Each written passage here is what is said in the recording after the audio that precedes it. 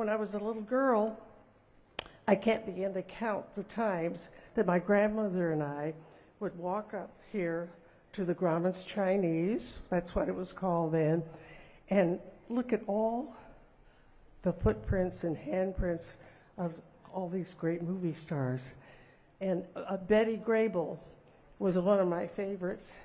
And I remember bending down and putting my hands on her handprints, never dreaming that someday I'd be putting my hands here 80 years later.